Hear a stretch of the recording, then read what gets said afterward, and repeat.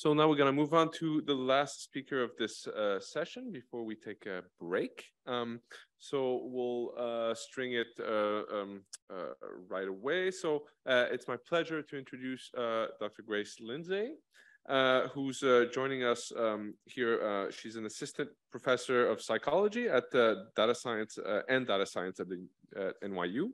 Uh, Grace had um, did her PhD at Columbia University and then her postdoctoral research at uh, University College London.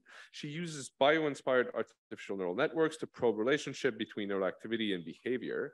And uh, recently she's put out a wonderful book uh, entitled Models of the Mind, How Physics, Engineering, Mathematics Have Shaped Our Understanding of the Brain. Uh, and so uh, today she's going to talk to us about visual processing and an embodied artificial rodent trained through reinforcement learning. So uh, Grace, please take it away. Great, thank you. Um, yeah, so I just started my lab at NYU, but this is work that I did while I was a postdoc at UCL. Uh, so the the background, the motivation for um, the work that I'm going to talk about kind of starts with the fact that visual neuroscientists for the past several years have been studying convolutional neural networks as models of biological visual processing. And this stems from the fact that the basic computations of a convolutional neural network, the convolutional layer and the pooling layer, um, were inspired by the basic functions of simple and complex cells that Hubel and Wiesel discovered in cats uh, many decades ago. So there's a kind of basic functional um, analogy between these networks and the basics of how the visual ventral stream works.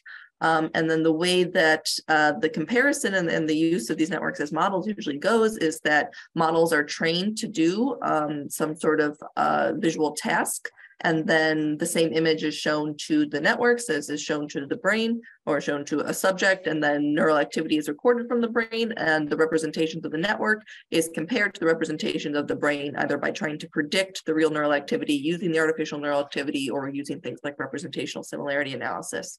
Um, for a while, uh, these networks, which were becoming quite uh, successful at matching real neural activity, certainly compared to any of the previous models of visual processing that were in use, um, they were usually based on supervised training of these deep convolutional neural networks um, on object recognition tasks. And of course, there's a lot of reasons why supervised learning is not um, biologically realistic, and it's not how we think that the full, you know, evolution and development of the visual system occurs, um, because you're not relying on tons and tons of explicitly labeled data to um, build a biological visual system.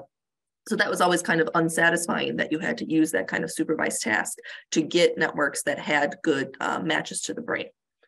Uh, but more recent work has looked at uh, unsupervised methods, um, particularly uh, contrastive methods, um, of which there are, are many different uh, methods in that general camp of contrastive learning. Uh, and that work, due to the advances in, in um, unsupervised learning or self-supervised learning and contrastive methods, recent work has shown that you actually can get decent matches to uh, real neural activity using these unsupervised networks. Uh, so this um, plot here from work in the Yamins lab shows in red these contrastive uh, networks and how when compared to the supervised networks in black, you can actually get a match to different uh, regions of uh, macaque visual cortex uh, a match that's uh, pretty uh, equal to the, the supervised uh, network.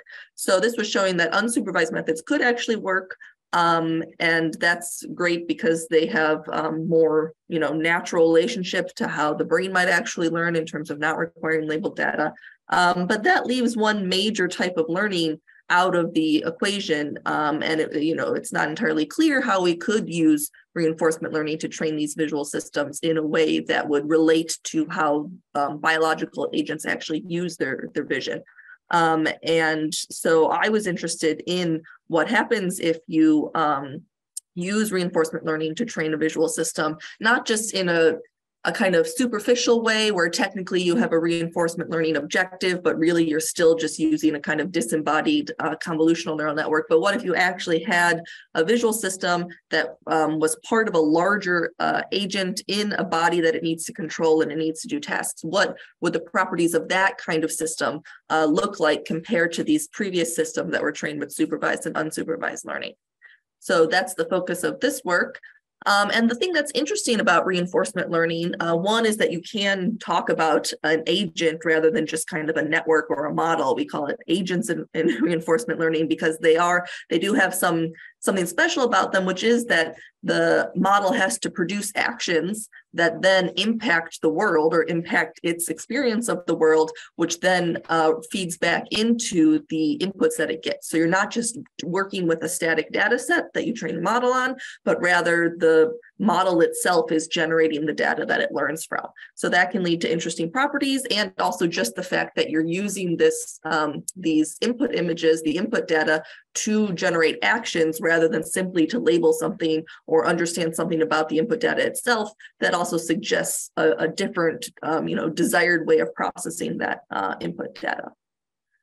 So, um, and of course, deep reinforcement learning based on visual inputs has been successful in recent years. So this is an example of uh, the Atari paper from DeepMind, um, and that was using visual inputs of the Atari video games in a deep reinforcement learning system to generate um, outputs in the game space. So we know that this kind of learning can take in visual inputs and use them in a meaningful way. Uh, so, but the particular system that I studied in this work um, is uh, it came out of uh, also out of DeepMind, and um, it's actually uh, rather than just kind of um, a game playing agent, it's actually an embodied uh, agent in the sense that the goal of the agent is to control a physical body, and that physical body is meant to replicate a rodent.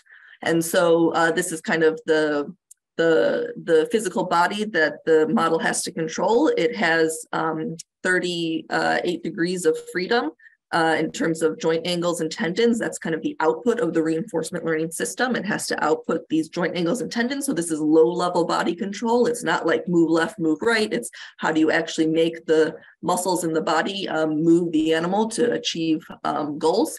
And it exists in a, in a simulated physical world and it uses sensory inputs to um, to create the uh, understanding of the goals that it needs to achieve and um, to control its body.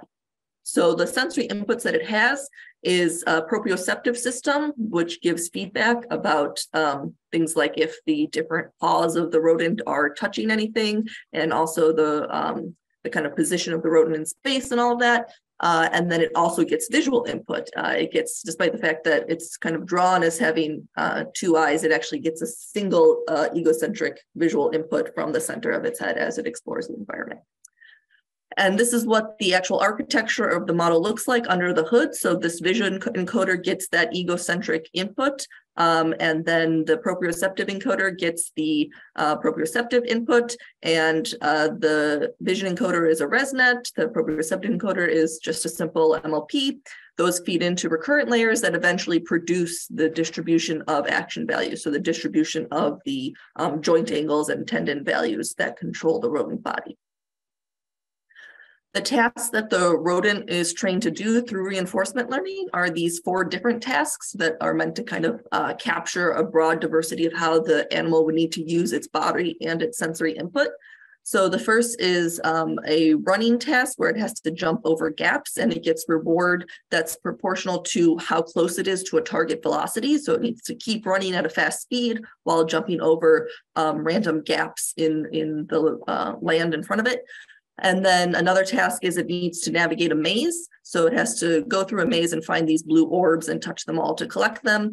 Another task is to escape um, a valley with very uneven terrain. So it's kind of starts at the um, the, the lowest point in a bowl, it needs to climb out and it gets reward proportional to how far it is from its starting point. And then finally, there's a two tap test that's inspired more directly by some um, tests used in, in the laboratory. And so the animal has to tap this orb and then wait a fixed amount of time and tap it again. And it needs to learn what that fixed amount of time is through exploration. And uh, the rodent, it's the same agent and all of these tasks. It's not given an explicit cue that tells it which task it's in. It's just needs, it just needs to kind of sense its surroundings to understand what the goal is in any uh, given situation situation. So this is video of the trained rodent. Uh, you can see on the left the egocentric input that the animal gets. So this is um, uh, what is going into that ResNet vision encoder. As the animal runs around this environment, you can see that it does learn to successfully control its body and learns to be able to visually identify these orbs and then go get them. This is the gaps uh, running task where it needs to see that there is a gap coming up in the uh, track that it's on and control its body in a way where it will be able to successfully jump over those gaps. Uh, so the animal achieves pretty good performance uh, on these, on all four of these different tasks. Okay, so that's the full rodent and, and what it's trained to do. I, as I said, I'm interested in the visual system. So this visual system, which is embedded in this bigger agent, uh, what did this visual system learn and how does that differ from a visual system that would have been trained in a supervised or unsupervised way, um, how, how that sort of visual system would have learned. So to answer that question, um, I'm going to take the same core ResNet architecture that's used in the um, the artificial rodent. And I'm going to train it using images that are sampled from the rodent exploring its environment, but I'm going to train it in several different ways so that I can get a bunch of comparisons where the architecture and the data is held constant, but the learning procedure is different. And so I'm going to use four different um, supervised approaches and three unsupervised approaches, and then have those networks that I can compare to the network that was trained as part of the reinforcement learning agent. So the first supervised network um, is trained to predict reward. So you input a single frame from the rodent exploring its environment, and the task is to predict the reward that the rodent it was about to get on the next frame. And sometimes that's easy. You know, if you can imagine the rodent is kind of near one of those blue orbs in the uh, maze task, and sometimes it's more difficult, but uh, the network learns to do this decently well. Uh, the next network is trained to predict the animal's uh, 3D orientation in space. Uh, so kind of how its head is tilted as it's running around. And so there's three um, output dimensions there. And as you can imagine from visual input, this isn't um, so terribly difficult. And so the network learns pretty well.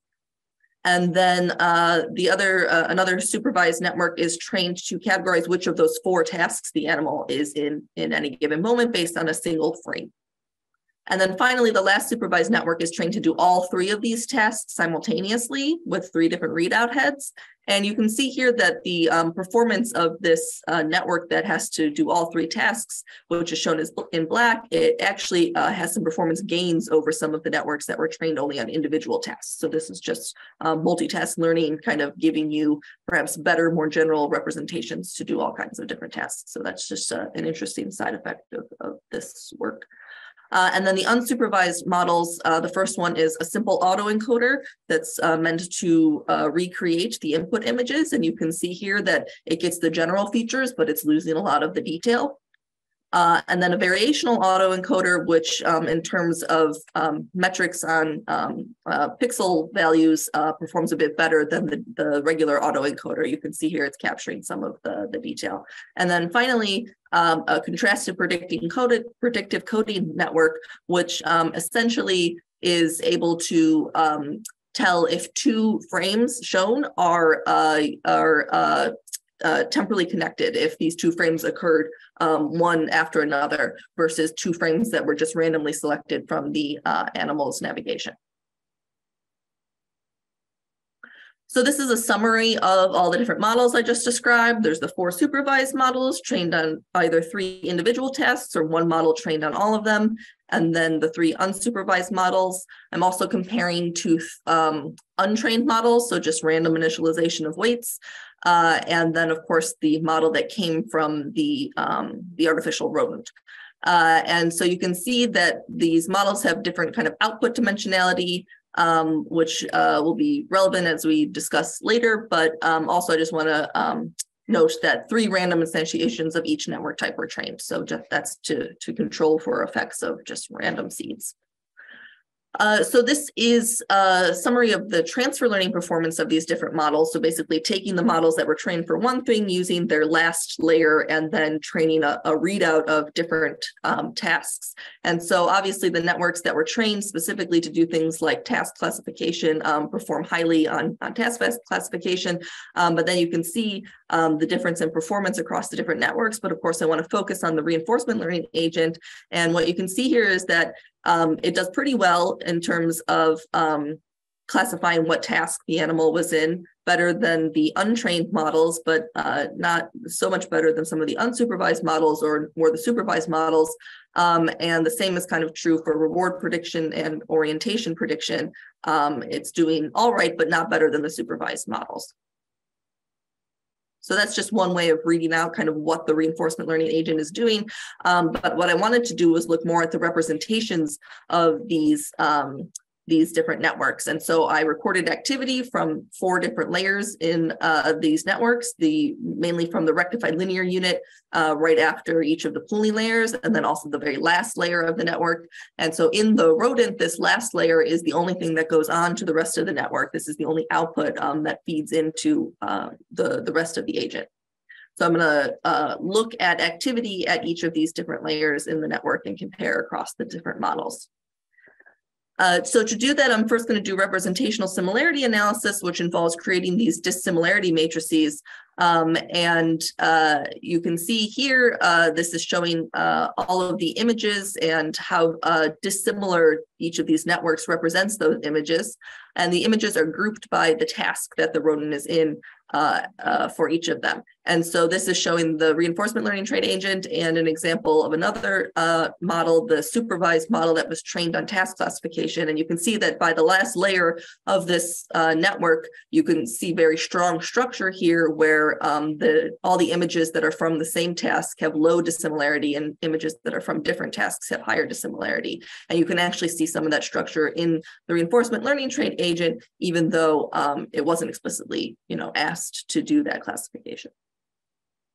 Okay, so this is uh, the representational similarity across all of the networks. So the similarity between all of those dissimilarity matrices. And um, first, you can just see that on the um, diagonal, there's these three by three blocks, which are just the models that were trained um, with the three different random seeds. So that's kind of reassuring that for the most part, those models trained um, from different random initializations uh, tend to learn roughly similar representations. Um, but then the other kind of broad effect that you can see here is that at the first layer, there's a lot of similarity across all the different models. We have high similarity values here. Um, and then by the time you get to the last layer, that's when you actually start to see differences in the networks that were trained in different ways. And um, it's kind of hard to see here because the reinforcement learning model is just one row at the bottom because we didn't have three different um, virtual rodents. Um, so here I'm just summarizing the average similarity values to um, all of the other types of networks for each of the types of networks. And so you can see here the general trend I just said where um, um, the last layer has the lowest similarity across the network. So that's in black here um, for all the different networks. But then also you can see that the reinforcement learning agent um, also just on average has kind of lower similarity values compared to all the other networks. So it's a little bit of an outlier um, in this, this metric. Um, but I, uh, you know, that's kind of a, a, general finding. But the question is, what makes the reinforcement learning train model different? Why does it um, have any kind of different similarity values or what are other properties of the reinforcement learning trained agent that makes it different. And I'm going back to these dissimilarity matrices because one thing you can see here, um, these are all plotted on the same color scale. And you can see that the reinforcement learning agent just has higher dissimilarity values, meaning that for any two um, images, it's kind of always representing them differently. It doesn't really kind of collapse images to be represented similar to each other. Everything's represented pretty dissimilar, dissimilarly. Um, and so that's an interesting feature that um, could be related to the fact that this model was trained with reinforcement learning to actually produce um, you know, useful behavior. So to look more into that, um, I used a, a measure that's um, somewhat common in the neuroscience lim- literature, which is sparsity. Uh, particularly, this is lifetime sparsity. So it's a measure of essentially how selective a neuron is to the stimuli that you show it. And so this measure is one if the cell only responds to one stimulus and is silent in response to all other stimuli you show it, and it's zero if it responds to all stimuli equally. So if a neuron is very sparse, it only responds to one image out of all the images that I show it, um, then uh, yeah, this metric would be one. Uh, and so I know this is kind of a lot to look at here, but um, you can see there are a few general trends. One is that for a lot of these layers, the sparsity values across the population are pretty broad. That's why you have these kind of large um, error bars in the violin plots. Um, but a trend that you can definitely see, especially as you go um, into the later layers of the network, is that the reinforcement learning agent on the far right here um, is much sparser than the rest of the, the network. So it's really having a lot of neurons that are responding almost to, you know, only one or a handful of the test images that I'm using to compute the sparsity value. So that's a way in which the reinforcement learning age, uh, agent is different from other models. Um, a related metric to look at is dimensionality. And the um, reason that that's relevant here is that um, the uh, the dimensionality kind of also reflects how much of the encoding space the neural population is using. And so uh, in a sparse representation, you might imagine that that means you kind of have one neuron for each image and each neuron therefore is very important. And so kind of the full dimensionality of the, the space is being used um, versus a situation where neurons are more correlated and they're all kind of commonly responding to a bunch of stimuli together. And so looking at a measure of dimensionality um, that is the uh, the number of principal components that's required to explain 85% of the variance in the uh, activity, you can see that the reinforcement learning agent is an outlier at most of these uh, layers. So certainly at layer two, it has very high dimensionality compared to all the other models. And at layer three, and then at layer four, it's also higher than the rest. The only one that's comparable is one of the um, untrained models. So really compared to the other models that are actually trained on different uh, tasks, uh, the reinforcement learning agent is showing much higher dimensionality. Uh, so it's really using its neural space to a fuller extent than the other models. Okay, um, so one of the reasons that you might expect that the output of the um, visual system in the RL agent, you know, why it might need higher dimensionality is that maybe it's because the agent has to control this high dimensional body. It has, you know, 38 degrees of freedom to control this body, whereas these other supervised tasks are much lower dimensional.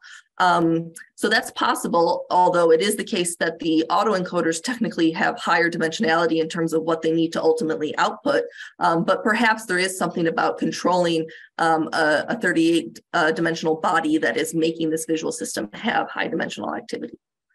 Uh, and so to answer that question, uh, we tried to do essentially imitation learning, which is when you use supervised learning to train a network to replicate the policy that was produced by, um, by an agent. And so this is just taking the, again, just taking the ResNet and um, doing supervised learning, getting an input image and having it predict what the um, 38 degree output would be of the rodent in response to that input image as it explored the environment.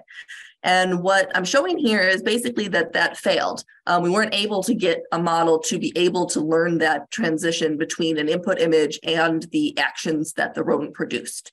Um, but if you recall the um, the architecture of the full agent, it also got proprioceptive input. And so perhaps that, you know, is an important thing to um, combine with the visual input to be able to predict the output of uh, the agent. And then that would produce a model where we could learn about, um, you know, the, the role of vision in producing this high dimensional action output. So by including um, the proprioceptive input, uh, it does make the model a lot better at being able to predict the, um, the actions that the, the rodent took. Uh, and so then I thought, okay, well, now I can study this ResNet like I studied the other ones. I can look at this activity and understand if it's high dimensional as well.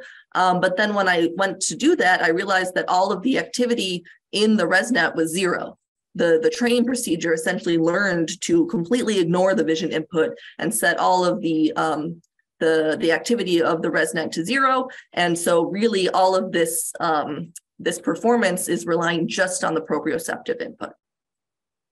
And uh, to further verify that that's what was going on, um, I uh, looked at this model that was trained with the vision and proprioceptive input, um, its performance when it was given both types of inputs, its performance when it was um, when I was actually setting the image itself to zero, and you see there's no difference in that. It doesn't care about the visual inputs at all. And then also a network trained just on proprioceptive input also performs just as well. There's only a tiny dip here because technically this network has one fewer layers than uh, this combined network. Um, and then of course the performance of the vision alone is very low. Uh, so an implication of this is that the the way that the agent is using its visual input, it's not directly related to the immediate control of its body. Um, we know that it's using its visual input because the tasks rely on it. You can't do the the gaps task or the you know task where you're getting the orbs or any of those things without visual input. It needs that visual input to do the tasks. But as you could imagine, maybe it's using that visual input for longer term planning. So the output of the visual system is feeding into these recurrent layers um, that can hold on to that information for longer. And the um, immediate next step uh, action planning of the body is being driven more by the proprioceptive receptive input combined probably with visual input from past time steps. Um, and so I think that that's um, perhaps has relevance to how we understand the brain and study the brain because um, there is a tendency to chunk parts up and say this is the visual system and we can use it to study um, you know visual inputs and we don't have to think about its use in downstream tasks so directly. Um, but obviously, uh, these sensory systems are providing inputs that are used on many different timescales for many different tasks. And it may be that some of the features of relevance um, are best understood in, in light of those downstream systems, even though that's obviously very hard to do. Uh, and then finally, you know, we have this virtual rodent and it's doing visual tasks. And so it might be natural to ask, can this virtual rodent, um, is its neural activity at all similar to a real rodent? A real animal. Um, and so I'm using here the um, the Allen Brain Observatory data set that has um, two photon recordings from many different mouse visual areas. Uh, the networks are being shown these um, natural scenes, the natural images, um, with a reduced dimensionality to uh, match the dimensionality that the networks are trained on. Um, and then I can compare the real neural activity to the model neural activity. And so this is showing uh, normalized representational similarity analysis outputs for that comparison. And again, the reinforcement learning model is all the way on the right here in brown. And uh, what you can see is that actually, if you want to um, match the, the representational patterns of mouse visual cortex across these different brain regions, the, rep- uh, the reinforcement learning a- agent is the best match uh, across them. The contrastive predictive coding model in green uh, has occasional times where it's doing the same or better, but on average, it's not doing as well. Um, so that is um, that that you know supports this notion perhaps that the visual system is uh, kind of using creating representations that are meant to drive diverse actions. Um, and so that's why this kind of very high dimensional representation that's created by the, um, the reinforcement learning agent here is able to capture these different areas. Uh, it's a little odd that it's the same layer in the model that's, that's doing best at all of the different um, uh, brain regions of the mouse. You might expect a more hierarchical relationship, um, but it still shows some benefit of using reinforcement learning uh, to train these these kinds of models. So to summarize, um, I trained models with supervised, unsupervised, and reinforcement learning and showed that uh, the overall similarity is pretty high at the beginning stages of the model, but you get much more unique responses as you uh, go through the model layers. And the reinforcement learning trait agent is an outlier by many measures, including sparsity and dimensionality. Um, but the way to think about what the reinforcement learning trained agent is doing uh, is not so much in terms of thinking about the direct action space that the agent has to control, but more about how that visual input is integrated into um, the kind of middle part of the network that's able to coordinate longer term goals.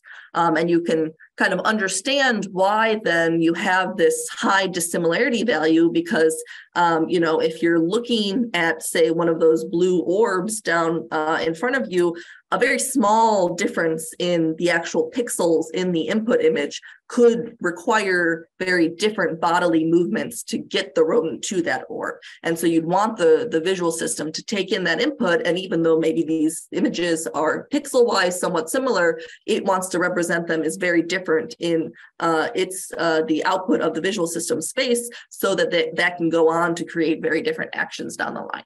Um, and then the reinforcement learning trained agent did provide the best match of these models to mouse visual data. So I want to thank my collaborators. Josh Merel at DeepMind built this uh, virtual rodent. And um, when I was uh, at UCL, I was working with Tom Mrsic-Flogel and Maneesh Sahani. And uh, this um, work is available on arXiv if you want more details.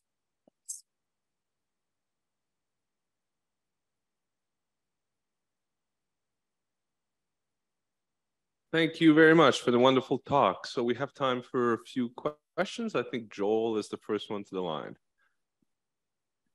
Zylberberg here. Really, really lovely stuff. And I especially like the way you compared the same architecture trained in the different uh, ways. I thought that was uh, was really good.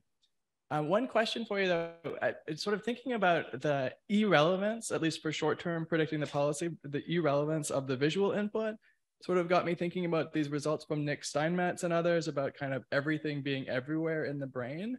And I mm-hmm. wonder if the explicit segregation in your deep rodent architecture between the proprioceptive and uh, visual inputs might be partly responsible for why you see that the, the visual side is not necessary. Uh, and I wonder if that hints at a better uh, architecture for mimicking the brain being one that, that does not have that explicit segregation. Um, yeah, I think that makes a lot of sense. Um, and even getting feedback from the recurrent layers back to the visual system to kind of modulate visual processing based on the current uh, goals of the agent. Um, I think that would be really interesting to study as well. Fortunately, it's pretty computationally expensive to train these kinds of um, embodied models. So there wasn't a lot of architecture testing. Um, but yeah, that definitely seems like that would be relevant. Okay. Patrick? Yeah. Uh, hi, Grace.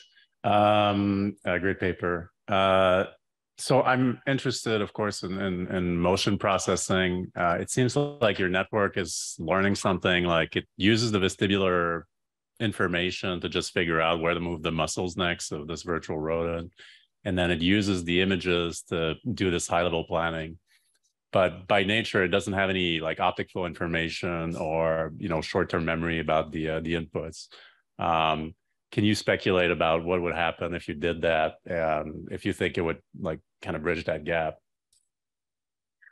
yeah um so the, the visual outputs do feed into recurrent uh, layers, you know, that could be doing some sort of integration. But the, I guess, just the temporal resolution of it. I mean, you saw the videos. It's getting kind of coarse grain frames um, and having coarse grain movements to some extent.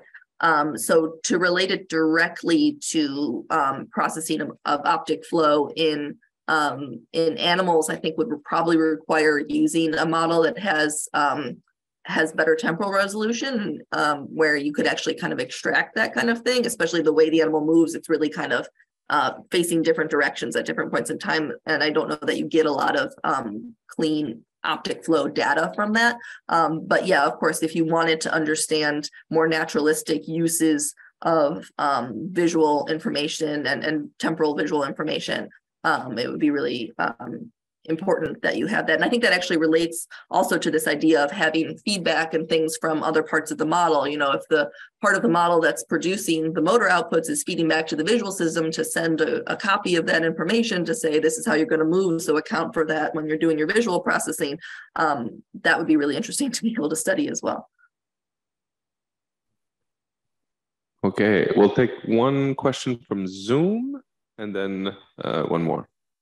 Yes, uh, great talk. The question is from Ricardo. Uh, it relates to the first part of the talk when you talked about CNN and their relevance.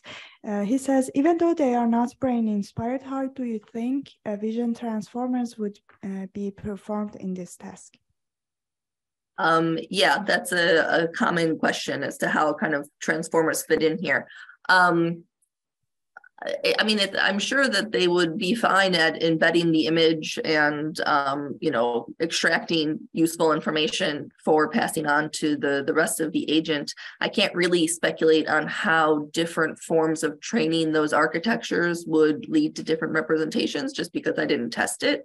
Um, but yeah, because they are less um, kind of relevant for understanding components of the visual system, I think that they would kind of offer less in this realm of wanting to compare directly to concepts from visual neuroscience. All right. And then maybe one last question before the break.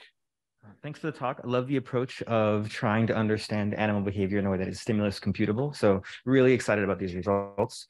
I was struck by your dimensionality analysis, which to me, to have an untrained model have a higher dimensionality. I might have missed some, a, piece of this, um, but to have an untrained model have a higher dimensionality than the trained models for me suggests that there's something about the stimulus set that's kind of pushing you into a wonky space. Um, as I'm sure you're familiar with, um, Aran Nayebi has some work on kind of finding that in fact unsupervised measures, unsupervised uh, signals actually lead to the best correspondence between ConvNets and the mouse visual system. Um, of course, in that work, if you're familiar with it, um, it they used uh, really kind of like degraded ImageNet uh, uh, information, uh, whereas you're using something which is a little more closer to like a home cage environment. But nonetheless, you're in a very impoverished stimulus space. So I wonder whether or not you'd expect to see a boost in the predictive power of the unsupervised uh, learning signal, given a richer sensory data set. Um, yeah, I, um, yeah, I could see how, um, that would be expected.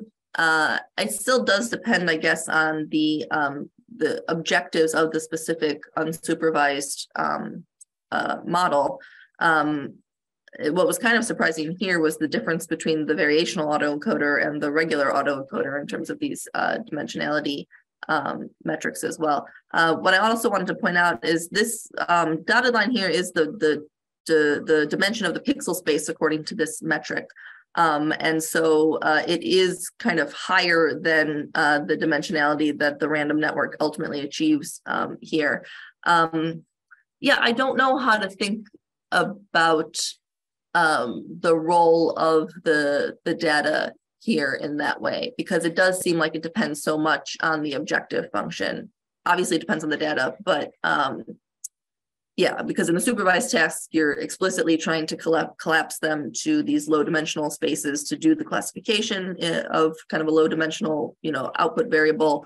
Um, I think it, it would be interesting to see which unsupervised method leads to um, the highest dimensionality but you could also imagine that that's not um, desirable in most cases. I don't know. Uh, you know, what are those dimensions representing, and are they kind of just making the representation noisy? Um, yeah. So to know that unsupervised methods can create good representations by certain, you know, analyses um, without always having to create high dimensional uh, representations, you know, it, it questions what what is the role of the high dimensional representation. Thank you. All right. Thank you so much. Let's uh, thank Grace once again.